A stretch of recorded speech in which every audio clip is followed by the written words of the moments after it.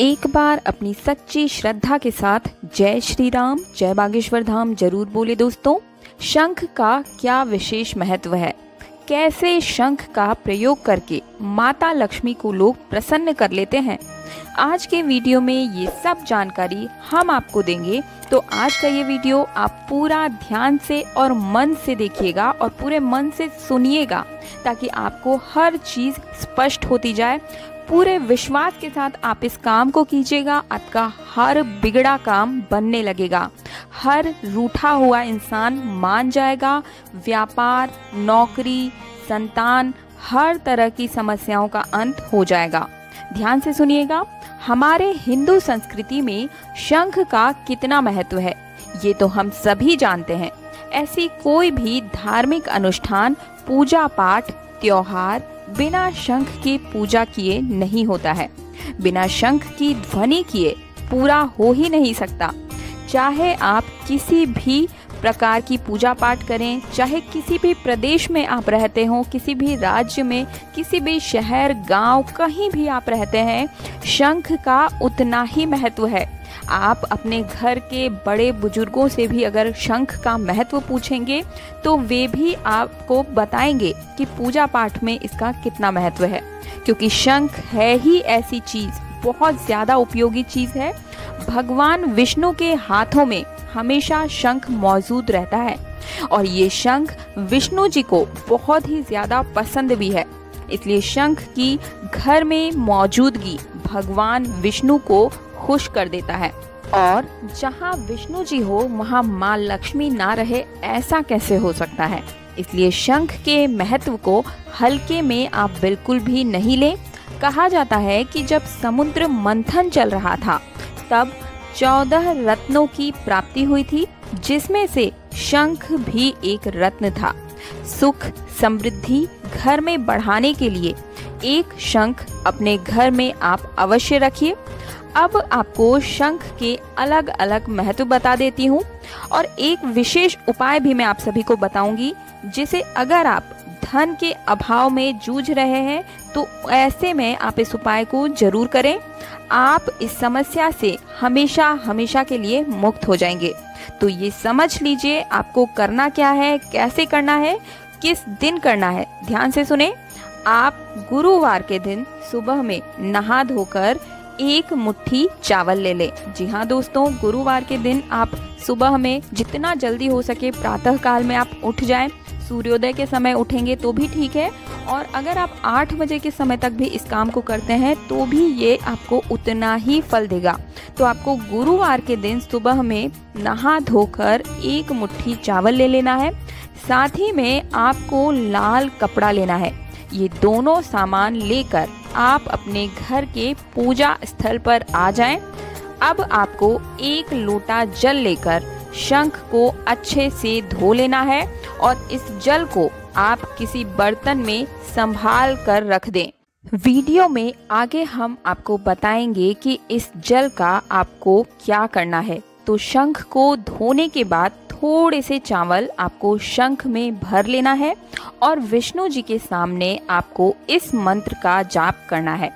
सिर्फ़ एक बार आप इस मंत्र का जाप ज़रूर कीजिएगा और मंत्र क्या है, ध्यान से सुन लें या फिर कहीं पर लिख लें या फिर आप इस वीडियो को सेव करके भी रख सकते हैं। ध्यान से सुनिएगा। ओम नमो नारायण नमः। ओम नमो भगवते वासुदेवाय नमः। एक बार फिर से सुनते हैं। ओम नमो नारायणाय नमः। ओम नमो भगवते वासुदेवाय नमः।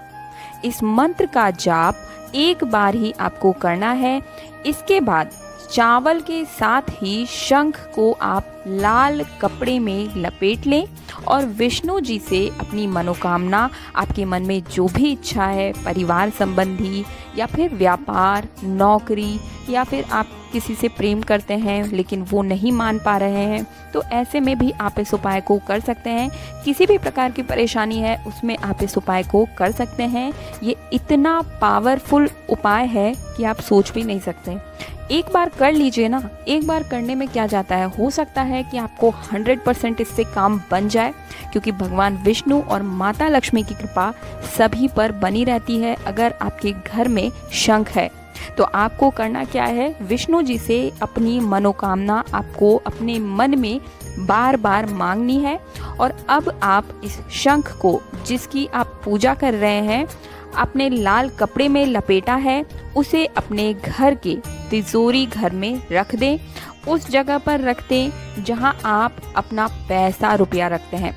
गुरुवार के दिन आपको करना होगा और अगले सात दिन तक, जी हाँ दोस्तों, ध्यान से सुने, अगले सात दिन तक आपको वहीं पर इसे रखे देना है और सात दिन बाद, यानी कि अगला, जो गुरुवार आएँगे, सात, अगला गुरुवार आएगा सात दिन के बाद तब आपको शंख वहाँ से उठा लेना है और लाल कपड़े में उस चावल को जो आपने शंख में डाला था, उसे लपेट कर विष्णु जी के फ़ोटो के पास में आपको रख देना है। इस सात दिन के बीच में आपको स्वतः ही महसूस होने लगेगा कि आपकी बड़ी से बड़ी आर्थिक समस्या कम होने लगी है और सातवां दिन आते आते तो आपकी समस्या का पूर्ण रूप से निदान हो चुका होगा और आगे चलकर धीरे धीरे वो समस्या आपसे पूरी तरह से अलग हो चुकी होगी, आपसे पीछा छूट चुका होगा। अगर आपके ऊपर कर्ज भी चल रहा है, बहुत ज़्यादा कर्जा ले लिया है, या फिर आपको हर महीने ही कर्ज लेना पड़ता है, कमाई इतनी है कि हर महीने के अंत आते आते बिल्कुल पैसा नहीं बच पाता है, आपको कर्ज लेना पड़ता है और फिर जब आपकी तनख्वाह या सैलरी आती है, वो कर्ज को भरने में ही आपकी तनख्वाह पूरी खत्म हो जाती है और फिर से आपको कर्ज लेना पड़ता है। तो ऐसे में भी हर श्रद्धालु को ये उपाय अवश्य करके देखना चाहिए। अब मैं आपको जो बताने जा रही हूँ, उसे आप ध्यान से सुनिएगा कि उस जल को आपको क्या करना है। उस जल से क्या करना है, जिससे कि आपने शंख को धोया था। आप उस जल को लेकर अपने घर के सभी कोनों में छिड़काव कर दें और साथ ही साथ आप अपने घर के मुख्य द्वार पर भी उस जल को अवश्य छिड़क दें। ऐसा करने से घर में लक्ष्मी का वास होता है और साथ ही साथ घर में सभी नकारात्मक शक्तियाँ जो हैं, वो बाहर निकल जाती है। शंख इतना पवित्र और शक्तिशाली होता है, इसका उपाय आपको कम से कम अपने जीवन में एक बार तो अवश्य करना चाहिए। और अपने परिजनों के साथ, परिवार के हर छोटे बड़े सदस्य के साथ आपको इस वीडियो को शेयर ज़रूर करना चाहिए, ताकि हर सनातनी तक सनातन धर्म के इतने प्राचीन ज्ञान के भंडार को आप विस्तारण करने में एक माध्यम बन सकें। हर किसी को ये ज्ञान अवश्य होना चाहिए। घर के बड़े छोटों से जब बोलते हैं कि आप इस काम को करें तो वे लॉजिक मांगते हैं। ऐसे में आप सभी के पास कोई जवाब नहीं होता, क्योंकि आपके पूर्वज ने वो काम किया है। आप कर रहे हैं, इसलिए आप चाहते हैं कि आपकी आने वाली पीढ़ी भी उस काम को करते रहे। लेकिन अगर आप उन्हें सही चीज़ बताएँगे, सही वजह बताएँगे तो बेशक वे सभी इस काम को अवश्य करेंगे। इस वीडियो को ज़्यादा से ज़्यादा शेयर करें। अगर मेरा वीडियो पसंद आया, मेरा मार्गदर्शन पसंद आया तो वीडियो को लाइक कर दें। चैनल पर पहली बार आए हैं, मेरी आवाज़ पसंद आ रही है तो चैनल को सब्सक्राइब करें। पास वाला बेल आइकन ज़रूर दबाएँ, ताकि सबसे पहले हमारे वीडियो का नोटिफिकेशन सिर्फ़ और सिर्फ़ आपको मिल सके। मिलते हैं अगले वीडियो में। जय श्री राम, जय हनुमान, सीताराम राधेश्याम